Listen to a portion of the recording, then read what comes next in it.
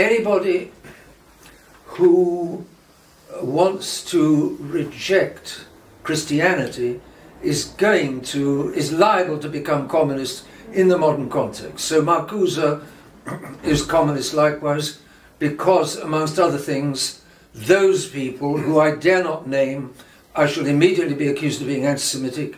Those people uh, hate our Lord Jesus Christ for 2,000 years. They crucified him, and they've ever since wanted to crucify his church. That's not, of course, applied to all of them. Some of them are very honourable and gifted people. They're all gifted. The Lord God was, was watching over that people and castigating them, punishing them, rewarding them for 2,000 years. For instance, the Babylonian captivity in the Old Testament. Uh, so they are gifted, and they've not lost their gifts. And they rise to the top. As, as if they're not checked, they will automatically rise to the top in journalism, in music, in politics, in uh, universities, you name it, they're gifted, they will rise.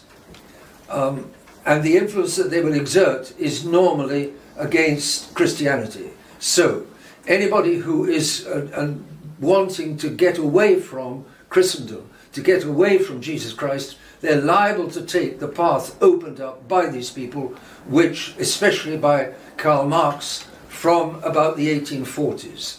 The, the, the Communist Manifesto was 1840. The difference between socialism and communism is that socialism has become kind of more moderate.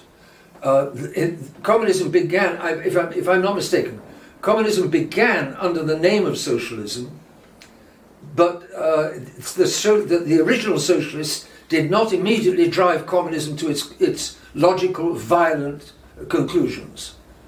But later, socialism and communism divided insofar as socialism was more moderate, less extreme, communism was extreme.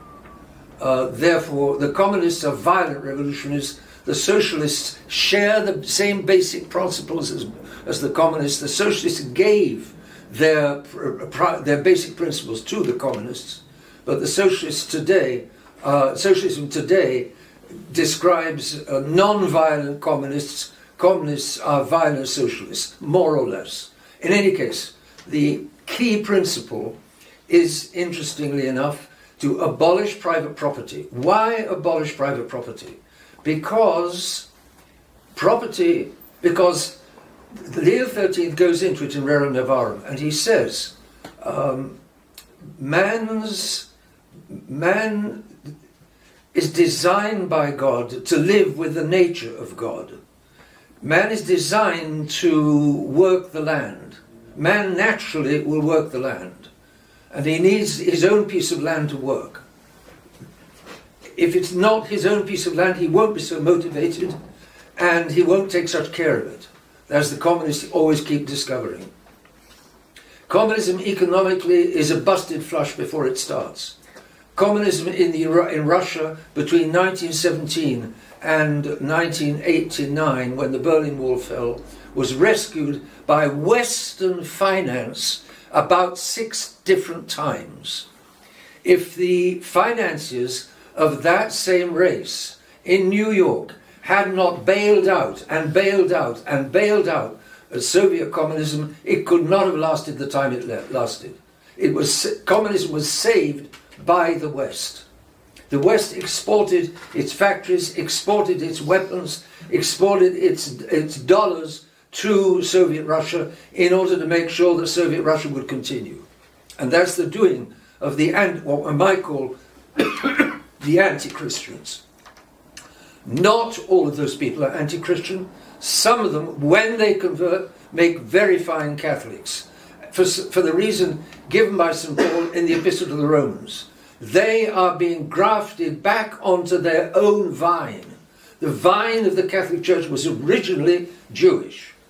Our Divine Lord, His Mother, the Twelve Apostles, uh, St. Joseph of Arimathea, and so on and so on. Or Joseph of Arimathea. Uh, Saint Joseph, the foster father of our Lord, all of them Jewish. All of them formed by the Old Testament. And our Lord was careful to obey in every detail the Old Testament until the New Testament was inaugurated at the moment when our Lord died on the cross. The moment when our Lord died on the cross, he, he, he, the testator